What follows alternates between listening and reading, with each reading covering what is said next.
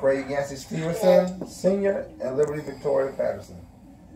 The two of you are embarking upon an adventurous voyage across the restless sea of the rest of life. You're standing now at the helm of a home about to be launched. The water here is the bay is calm, but soon within days and months the winds will blow harder and uh, the waves will curl higher. As you plow the deep, you'll pass over the watery graves of millions of sunken ships of marriages that were overcome by the billows, smashed by the rocks, and confused in the storms by defective compasses. Today, I'm going to give you a compass that works. It has two points. If both of you keep both of these points aligned, you'll surely and safely arrive at the heavenly harbor together at the end of your earthly voyage. The two compasses points are two simple instructions based on a verse of Scripture, 1 John 1 7. But if we walk in the light as he is the light, we have fellowship with one another. And the blood of Jesus Christ, his son, cleanses us from all sin. The first needle of direction is this walk with the master. The second compass point is work on your marriage. One of these without the other is as useless as your union as one of you without the other. That's important. Walk with the master. Work on your marriage. Both, but both of them aligned in both your lives will provide accurate navigation even in the wildest typhoons. Walk with the master and work with your marriage. The reason I can give you this golden compass with such confidence is because based as it is upon 1 John 1 7, it comes straight from the Lord himself. And who said, in that verse, if we walk in the light of his presence, he, I mean, we will have fellowship with one another, and the blood of Jesus Christ cleanses us from all sin.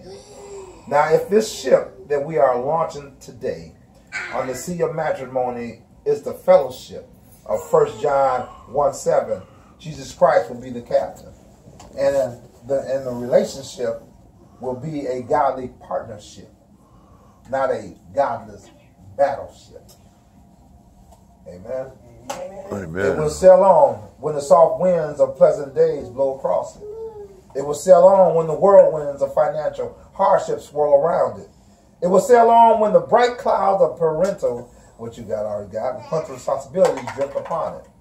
It will sail on when the billows of misunderstanding, sickness, tragedy, and death crash against it. It will sail on because it will be steered by Jesus Christ, blown on its way by the winds of the Holy Spirit, steadied by the anchors of the daily Bible study, prayer, and regular church attendance. I read that again. It will sail on because it will be steered by Jesus Christ, All right. blown on its way by the winds of the Holy Spirit, steadied by the anchors of daily Bible study, prayer, and regular church attendance. And it will be loaded with the priceless cargo of that biblical sort of love that does so much remain so constant, forgives so frequently, acts so sensitively. Uh-huh. The Bible teaches us to let our hearts be knit together in love. There will be times when it will be, seem easier to quit than to knit, but it's not. Just keep on knitting your hearts together. Y'all hear me? Yeah. I'm talking to y'all now. Okay. Y'all keep knitting y'all's heart together, committing yourself to Christ, submitting yourselves to each other, omitting the black curse of bad habits from your home, and omitting the fruit of the Spirit in the context of a godly family life.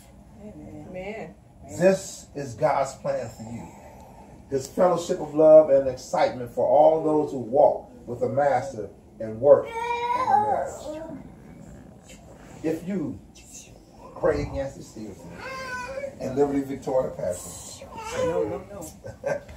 uh, have freely and deliberately chosen each other as partners in this holy estate, and know of no just cause why you should not be so united. In token thereof, will you please join your right hands?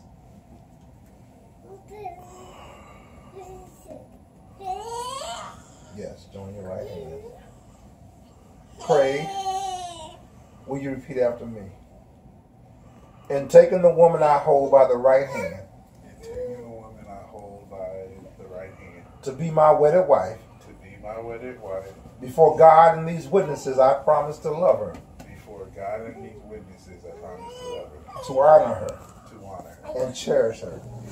In this relationship, leaving all others, leaving all others. cleave only unto her, Leave only unto her, in all things a true and faithful husband, in all things true and faithful, as long as we both shall live. as long as we both shall live.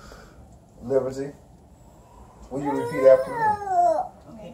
And taking the man I hold by the right hand And taking the man I hold by the right hand to be my wedded husband, to be my wedded husband. Before God and these witnesses, before God and these witnesses. I promise to love him, I promise to love him, to honor him, to honor him, and cherish him. And cherish in this relationship. in this relationship. Leaving all others, Leaving all others, cleave only unto him, cleave only unto him, in all things a true and faithful wife, and all things a true and faithful wife, as long as we both shall live. as long as we both shall live.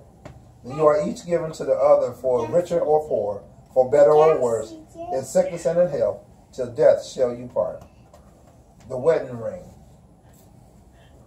is a fitting symbol of these vows in two ways.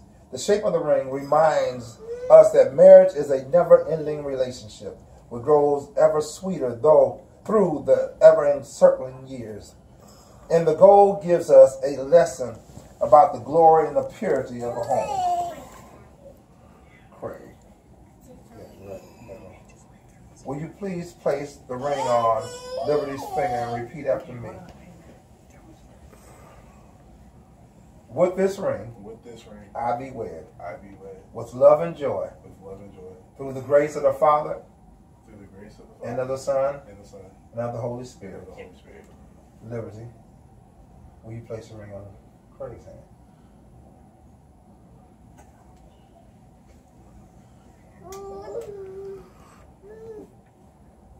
With this ring, With ring, I be wed, I be wed with love and joy, with love and joy, through the grace of the Father, Through the grace of the Father. and of Father, the Son, and the Son, and of the Holy Spirit. and the Holy Spirit. Amen. Amen. Now upon this, upon your mutual promise, made in the presence of God and these witnesses, and according to the authority invested in me as a minister of the gospel of Jesus Christ, I now pronounce you husband and wife.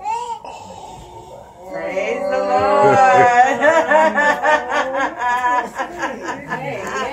Amen. All right. It's legal binding. Amen. you know, so uh, y'all work on it. Work on it, man. Follow the master. You can't go wrong. Now, you got witnesses here.